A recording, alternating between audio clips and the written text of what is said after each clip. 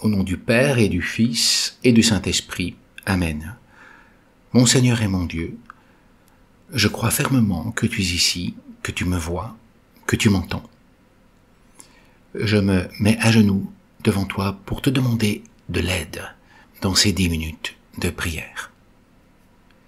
Marie, ma mère immaculée, Saint Joseph et mon ange gardien, intercédez pour moi. Aujourd'hui, nous fêtons deux apôtres qui sont en fait ou des fils spirituels des apôtres, Tite et Timothée. C'est pour ça que j'ai choisi comme titre Timothée, Tite et toi, semence de lumière. Oui, parce qu'en réalité, nous sommes appelés à être comme des graines qui donnent naissance à une plante qui donne beaucoup, beaucoup de fruits. L'Église fête les apôtres Timothée et Tite le lendemain de la fête de la conversion de Saint Paul, qui clôture aussi la semaine pour l'unité des chrétiens. Et tout cela est vraiment riche en symboles, en invitations, pour suivre les enseignements de Jésus, comme l'ont fait Saint Paul, et puis ses deux disciples les plus proches, Timothée et Tite. Jésus, tu as dit, un peu avant de monter au ciel, allez parmi toutes les nations, faites des disciples, enseignez-leur ce que je vous ai enseigné. Tes paroles, Jésus, nous invitent à faire un apostolat uni à ton enseignement, ton, alors, au seul enseignement qui en vaut vraiment la peine, ton enseignement, Jésus. Paul accomplit littéralement ce commandement apostolique, et mieux que quiconque, car il est l'apôtre sans territoire fixe, même on pourrait dire sans domicile fixe. Il est apôtre de tous et de toutes, médecin sans frontières des âmes, s'occupant des païens et des juifs, des hommes et des femmes, d'Afrique, d'Asie, d'Europe, parlant plusieurs langues. Pour moi, au-delà de toutes les connotations juridiques que l'on pourrait donner aujourd'hui, Paul est un évêque sans territoire, ni cathédrale, un évêque immigré, ambulant, qui parle de toi, Seigneur, partout où il passe et qui sème la semence de la parole divine.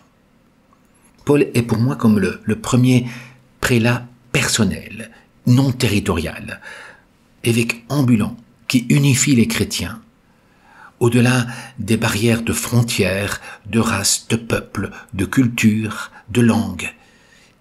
Un évêque qui s'occupe de tous et de toutes, la suite du Christ, en leur enseignant tous ta parole, Jésus, ta doctrine.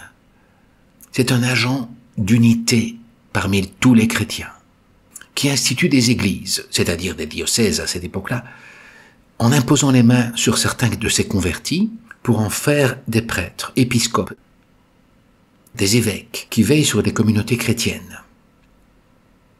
Lors de ses voyages, apostolique, il va rencontrer deux personnes que nous fêtons aujourd'hui, justement, Tite et Timothée, qui a toujours été le plus proche compagnon de mission de Saint Paul.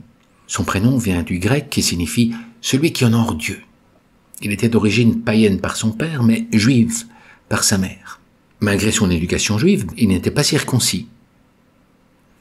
Dans les deux lettres à Timothée que Saint Paul a écrites, on retrouve une profonde relation de paternité et de filiation spirituelle entre eux. Un amour passionné, communicatif et partagé qu'ils avaient tous les deux pour le Christ. Paul, comme bon évêque sans domicile fixe, prêche lors de son premier voyage apostolique en Asie mineure. Il y a quelqu'un qui l'écoute, Timothée. La semence lumineuse de la parole de Jésus tombe et prend racine dans le terreau de l'âme de Timothée. Timothée se convertit, et pour éviter des problèmes avec certains chrétiens, Paul a dû faire circoncire Timothée.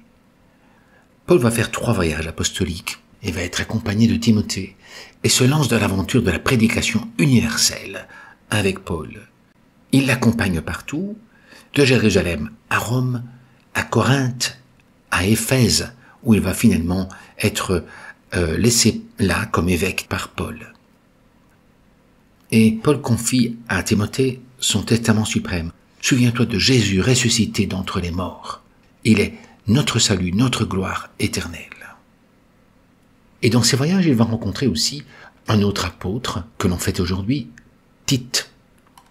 Tite était un païen et il s'est converti en écoutant les prédications de Paul. C'était un homme qui avait un charisme spécial pour l'organisation et la réconciliation.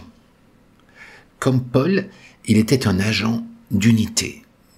Et Paul va lui confier beaucoup de missions pour diffuser la paix parmi les communautés chrétiennes, en particulier la communauté de Corinthe, où il y avait beaucoup de problèmes, de débauches dans tous sens, même des abus sexuels.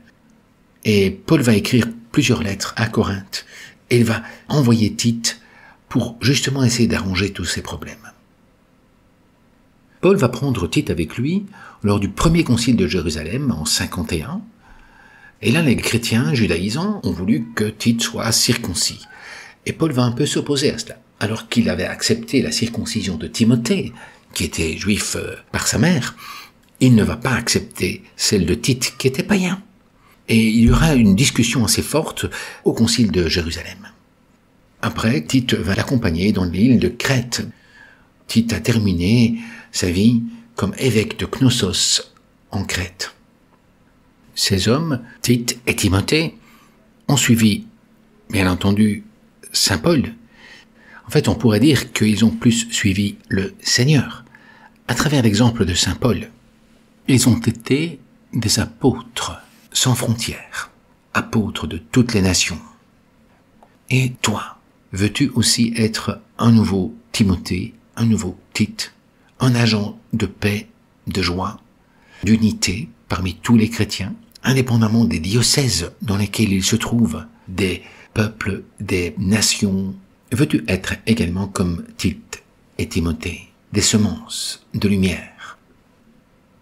L'évangile d'aujourd'hui se met dans un contexte de, de graines, de semences, de lumière, et le Christ nous dit que nous avons à accepter et à transmettre son message, son enseignement. Jésus, tu nous dis, est-ce que l'on met une lampe sous le boisseau? N'est-elle pas faite pour être mise sur un lampadaire? Comme disait Fénélon, Dieu ne vous a pas mis sous un boisseau, mais sur un chandelier. Nous portons une vérité que nous ne pouvons pas cacher. Le boisseau était une espèce de récipient comme un seau, si l'on peut dire, mais qu'on n'utilisait pas pour mettre des liquides, mais pour y mettre des matières sèches comme des grains de blé, de froment ou de céréales quelconques et ça faisait plusieurs litres, une dizaine de litres environ. Et bien entendu, on ne retournait pas le boisseau au-dessus d'une lampe, comme pour cacher sa lumière. La lampe devait être mise justement en hauteur pour éclairer. Jésus nous parle de cela justement pour nous dire que nous portons en nous une lumière et que nous ne pouvons pas la cacher. Et qu'en même temps, tous les enseignements que nous avons reçus ne sont pas uniquement pour rester dans notre cœur, cachés là, au fond de nous, mais pour être diffusé dans le monde, pour donner de la lumière à tout le monde. Et il nous dit, faites attention, la mesure dont vous servez servira aussi pour vous. Nous avons reçu ton enseignement et nous devons en quelque sorte le transmettre.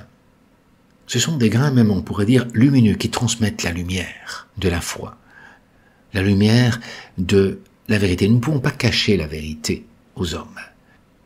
Une graine n'est pas simplement comme un grain de sable. Euh, tu plantes un grain de sable, il se produit rien, il ne se multiplie pas. Par contre, une graine, tu la plantes et elle diffuse son énergie vitale. Et cette semence tombe justement dans des terres qui vont se multiplier, qui vont donner énormément d'autres graines et ainsi de suite. C'est absolument un miracle de voir qu'une graine porte la vie en elle. Il y a une sorte de d'énergie qui se transmet et qui donne de la vie à d'autres. Toi et moi, nous sommes comme un boisseau qui reçoit des graines de froment, comme l'apôtre Saint Paul. Nous avons reçu des graines lumineuses et divines, de paroles et de doctrines et d'enseignements qui nous viennent par toi, Jésus.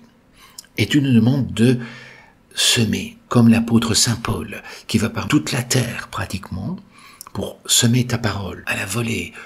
Et la mesure que nous employons, c'est justement cette mesure que nous a montré Saint Paul, Timothée et Tite, Cette mesure pleine de foi, de compréhension, de charité, d'amour et de diffusion de ton message, Seigneur. Je te remercie, mon Dieu, des bonnes résolutions, des actes d'amour et des inspirations que tu m'as communiquées dans ce moment de prière. Je te demande ton aide pour les mettre en pratique. Marie, ma Mère Immaculée, Saint Joseph et mon ange gardien, Saint Timothée et Tite et Saint Paul, intercédez pour moi. Au nom du Père et du Fils et du Saint-Esprit.